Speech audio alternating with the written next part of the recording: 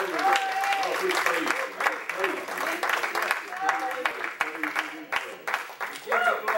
hallelujah. Good.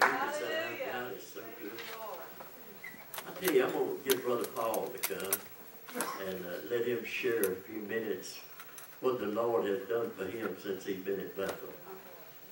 You know, and he, he's a blessing to me. I can call him anytime, don't make no difference, day or night, don't make no difference how he feels, if he's about dead or what. He'll still come. And I, and I appreciate that, Brother Paul, I tell. Well, some of you were here when we got here. some of you have since come along. Um, Carl and I came from Cookeville. I actually came from Orlando to Gainesville to Cookeville. She came from Gainesville to Cookeville. Um, we hit a little patch, uh, and we ended up losing everything we owned. Two houses, two cars, and you want to know how much money? Ask her. She kept count. Uh, we lost it all. Uh, her and I were not together. We've been together 21 years this past October. We split up. I thought grass was greener on the other side. It was not. So I asked her, I said, what are we going to do? She said, we're going to Lafayette. Now, I had been through Lafayette when I wrestled. I never stopped. Saw no reason to stop. Uh, I was okay, so we're going to go. I came here, it'll be three years this December. I weighed 130 pounds. Uh, I was real, real, real skinny. Uh, I had seizures. I was all depressed. I was all upset. Uh, I didn't know what I wanted to do. Basically, I came to fate to die. I was ready to go. Uh, we came here on Friday night after the electric company closed. Saturday morning, I'm looking around for churches, and I see Bethel. And I said, well, you know, I don't know. That's kind of looks like one of the storefront churches. I better look around and see if got some of the big, fancy churches. Lord said, no, you're going to Bethel. So we got up Sunday morning, and we came to Bethel. After church, Pastor Billy said, we're have a sister. We're going to be moving her, putting her stuff in U-Haul moving her. You want to come along? So I said, why not? We had no electricity at the house. Got nothing else to do. We'll go. We have not stopped since. When I came here, I was on antipsychotics for bipolar paranoid schizophrenia. After six months of being here, I'm no longer on my antipsychotics. I was on anti-seizure medication, which I went off for a while. But let me tell you, unless the Lord tells you to come off your medication, take that just the way the doctor tells you to take it. Because I went off my anti-seizure medication same time I went off my antipsychotics, and within about, oh, three days, it was not a pretty sight. We came, like I said, I came to Bethel to die. But what was more important to me about Bethel, what I've learned these past three years, is the love people had. Our pastors were very patient. Carly and I were not married. Uh, a lot of you here in the church know what I did, who I worked for. That's nothing about that.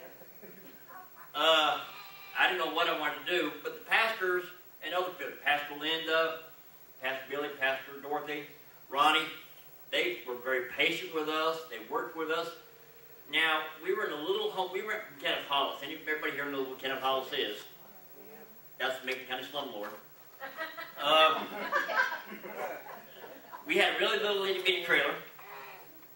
We had two people came with us, and they left after about two months. Uh, but everything in my house, the Lord has blessed me with. Our clothes, our furniture, flat screen TV, which very nice. Uh, all our computers, uh, kitchenware. And we had some stuff left in Cookeville. Pastor Billy, one day, we got the red truck, and we got that and brought that back. When we arrived here, I had two shirts, two pairs of pants. Carlene had two shirts, two pairs of pants. We each had a pillow and blanket. We now have stuff, enough stuff to fill a 1,400 square foot mobile home, which is very nice. Kenneth Hall still owns it, but it's very nice. Uh, great. We were, I was, uh, I applied for disability, I got my disability because I'm an old man. That's what it says on the papers, I swear. And um, basically, we were praying about it. We were looking at places, and I said, well, I gotta, I don't drive because of my seizure. I got to be where I can walk to church. And so Kenneth Hollis put this humongous trailer into our parking lot, and I said, if you let me have that for $450 a month, I'll take it. He said, you can have it. That's what we pay, $450 a month. That includes our, our water and our sewer, which I understand is kind of high here in Lafayette. The thing I want to say to anybody is the key to the blessings the Lord gave us, and the key to me and Carlene, we're married now, working through the infidelity, the loss of everything we own, was being faithful, being obedient, and listening to our pastors. In the three years I've been here, did I agree with everything the pastor said? No, some of it made me mad. Did I get offended? Yes, I got offended. Sometimes it was something the pastor said, sometimes the people in the church. But I kept my eyes on Jesus. I stayed faithful and obedient. And I didn't leave just because Pastor Dorothy said, well, if you're not married, you need to get married or you're not going to heaven. I didn't go and find a pastor that agreed with me. I worked towards what I knew God wanted me to do. God called me here. God planted me here. And here's where I needed to stay. And like I said, keep my eyes on Jesus, be faithful, and be obedient. Uh, this month, Carl and I started our company back up. And we are very happy.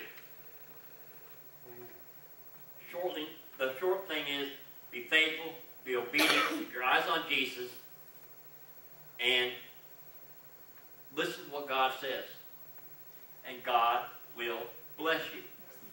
And no matter what you lost because you were stupid or you weren't listening, uh, I, am going to tell some of you younger people, they won't have a lot of younger people here. In October, when we lost everything, that February, March, God said, it's time for you to quit playing around, grow up, and serve me. I told him I was too busy. By October, I had plenty of time. Uh, but be faithful, be obedient. God will bless you. Keep your eyes on Jesus, because if you put your eyes on people, you're going to get mad, you're going to leave, and then be out of the will of God. You'll be in a church that will agree with you, but it will not help you.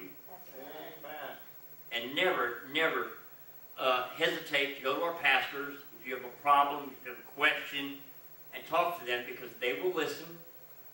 You might not like what they say, but what they say will help you. Amen. God bless you.